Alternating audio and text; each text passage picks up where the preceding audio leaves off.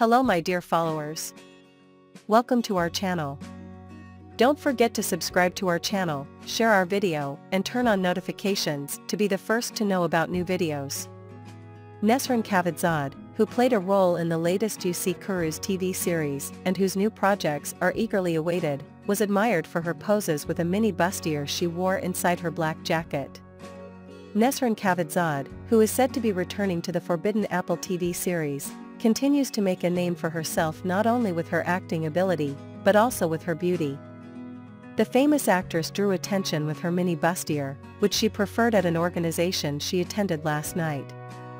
Although his followers thought that Nesrin Cavadzade's bustier was transparent at first glance, it was understood that a flesh-colored fabric was used on the back of the bustier. Nesrin Cavadzade, of Azerbaijani descent, introduced her lover, Gökhan Alkan, to her family living in Azerbaijan. Gökhan Alkan and Nesrin Cavadzade, who are shown among the exemplary couples of the magazine world, decided to leave quietly. Nesrin Cavadzade, who did not take part in any project after Üç Kuruş, has been living away from the cameras for a while. The beautiful actress, who is very active on social media, has 3 million followers on Instagram.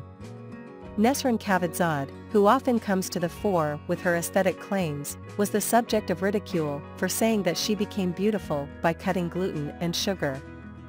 Her fans can't wait to see the beautiful actress in a new project. You can share your valuable opinions with us in the comment section. Don't forget to subscribe and turn on notifications for more videos. See you in other videos. Take care of yourself. Goodbye.